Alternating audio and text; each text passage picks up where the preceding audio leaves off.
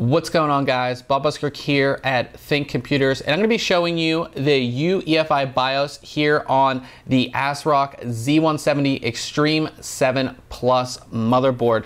Now this BIOS will be pretty much the same across all of the Z170 boards from ASRock. Um, and this, some of the ones, ones might be a little bit different depending on the series of motherboard, but they all should be pretty much the same. So starting out, we have our main screen, and this is just gonna give you information of what you're running. Um, it does give you the UEFI version, so if you're looking to maybe update or flash your BIOS, you can actually see which version you have first. Um, your processor type, processor speed, cache size, and all of the information for your memory. You also have a My Favorites menu.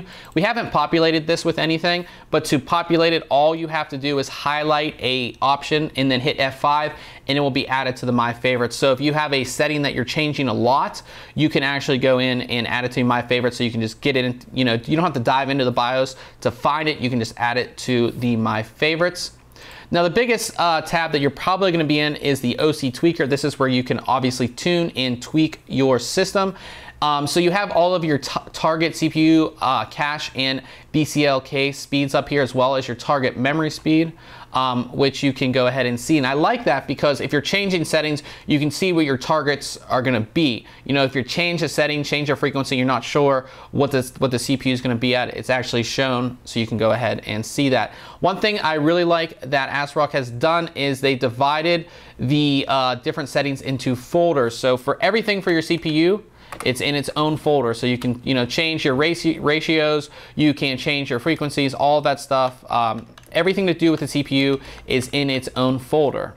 Then we can go to our memory or DRAM configuration, and this is everything for that. And they actually have this um, DRAM tweaker option as well. And this just basically shows you everything that's going on with your memory. Um, and you can actually fine tune your memory as well with this uh, DRAM tweaker you know, uh, I guess you would call like a little app here that's in the BIOS itself. But this is all, again, all of the information and all of your timings for your memory. And again, you can go ahead and fine tune these the way you want.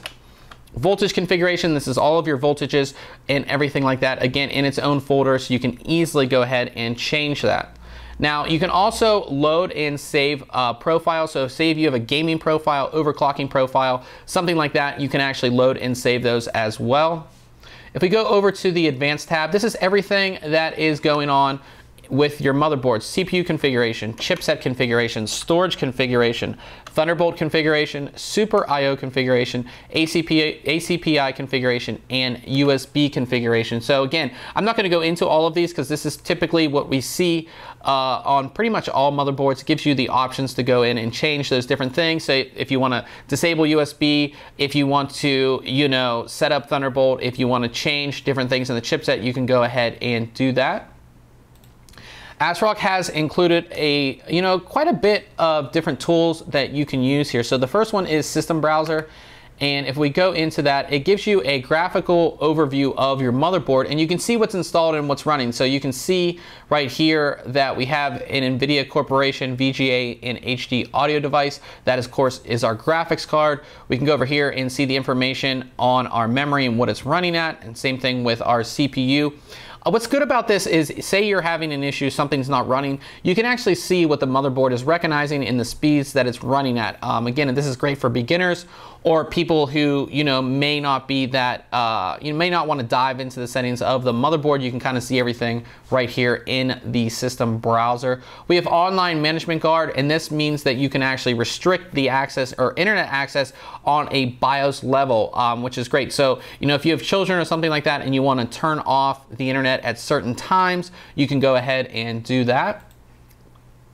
We have Uf, UEFI Tech Service. This allows you to send an email out to Tech Service if you are having issues.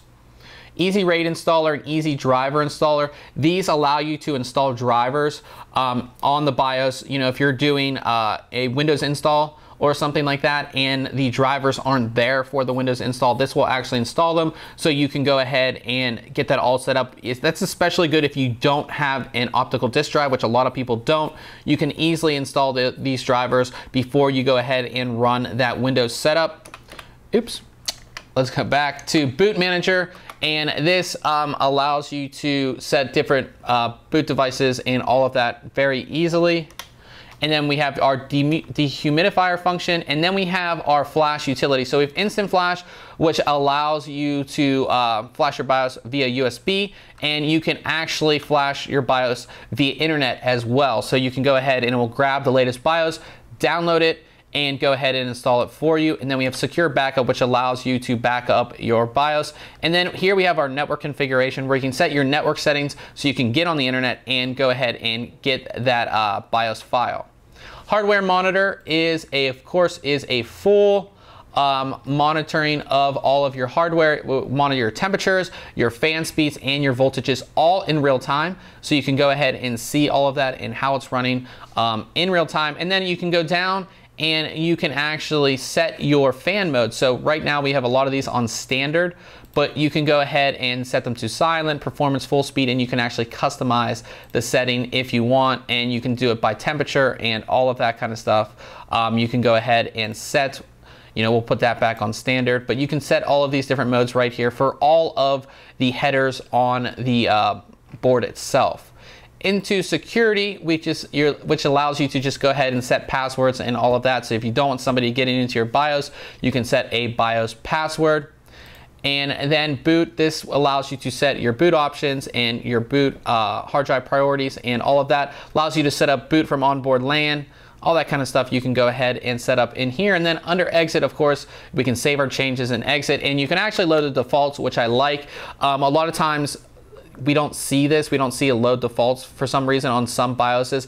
I like to see it because sometimes you might mess up something and you just want to, you don't want to, you don't want to reset the BIOS completely, but you want to just load the defaults. Um, you can go ahead and do that just by selecting this option and we'll put everything back to the default and you're good to go.